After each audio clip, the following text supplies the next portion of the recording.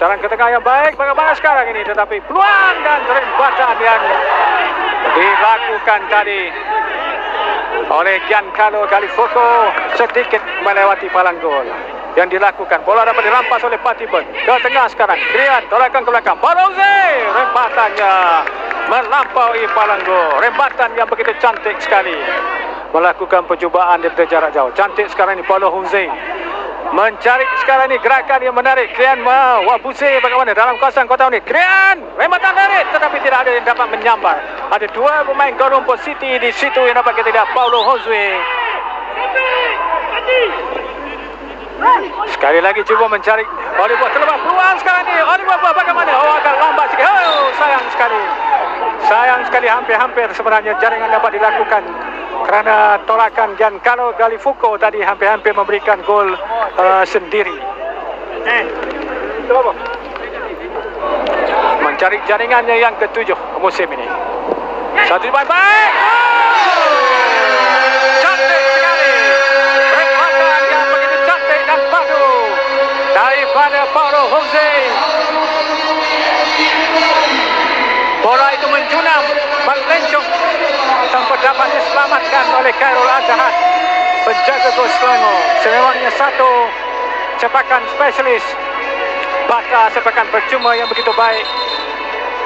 Begitu tepat sekali satu uh, sepakan yang sangat berkualiti yang dapat kita lihat oleh pemain. Sepakan yang uh, begitu mengancam sekali kita dapat lihat. Betul-betul di penjuru sebelah kiri. Kita lihat bagaimana kali ini di manakah sudut yang dicari oleh Oliver Buff di sebelah kanan ataupun di sebelah kiri. Satu cubaan ke tengah terkena palang gol. Cantik. Rembatan yang dilakukan oleh Oliver Buff. Kita mendengar tadi bagaimana rembatan ataupun bola itu terkena palang gol tadi. Terlepas peluang terbaik yang dimiliki oleh Selangor. Pantas sekarang ini. Syarul Nazim. Masih lagi Syarul. Cantik Kolon Syarul ke sebelah kiri sekarang ini. Ataupun ke sebelah kanan dengan hantaran lintang. Peluang dapat diselamatkan. Dan akhirnya gol.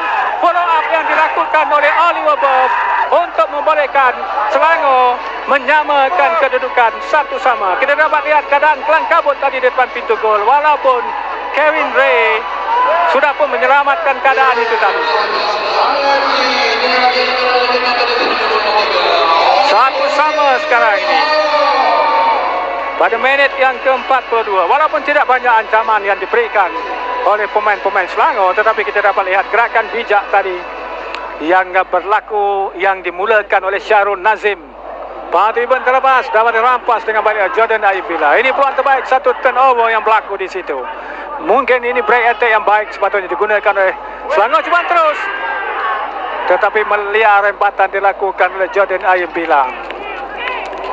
27 gol untuk pasukan Colombo City dan 48 gol untuk pasukan Selangor FC. Larian pantas sekarang ni. Glenn Wabuzi dapat melewatkan Syamil. Bagaimana sekarang ni cubaan?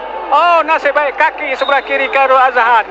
Dapat uh, kita katakan mencangkuk bola itu ataupun menguis bola yang uh, dihantar di situ tadi oleh Krayan Wabuzi. Hampir-hampir jaringan dapat dilakukan.